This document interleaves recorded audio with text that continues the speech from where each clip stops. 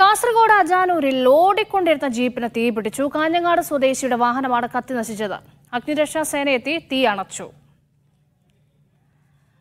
കാസർഗോഡ് നിന്ന് ഷെഫീഖ് നാസറുള്ള ചേരുന്നുണ്ട് വിവരങ്ങൾ അറിയാൻ ഷെഫീഖ് എപ്പോഴാണ് ഈ സംഭവം നടന്നത്?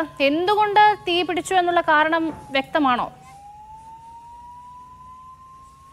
കാസർഗോഡ് അജാനൂർ ക്രസൻ സ്കൂളിന്റെ ബൊലോറോ ജീപ്പാണ് പൂർണമായും കത്തി നശിച്ചത്.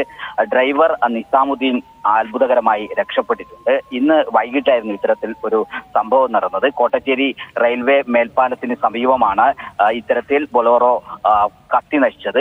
ബൊലോറോയിൽ നിന്ന് പുക ഉയരുന്നത് കണ്ടപ്പോൾ നിസാമുദ്ദീൻ ഇറങ്ങി അതാണ് രക്ഷപ്പെടുന്നതിന് കാരണമായത്. പിന്നീട് കാഞ്ഞങ്കാട് നിന്നുള്ള ഫയർഫോഴ്സ് സ്ഥലത്തെത്തി പൂർണമായും തീ അണച്ചു. അപ്പോഴേക്കും ജീപ്പ് പൂർണമായും കത്തി നശിച്ചിരുന്നു. എന്താണ് ഈ അപകടത്തിന് കാരണം എന്നത് സംബന്ധിച്ചുള്ള വ്യക്തമായ സൂചന ലഭിച്ചിട്ടില്ല. ഷോർട്ട് സർക്യൂട്ട് ആവാം.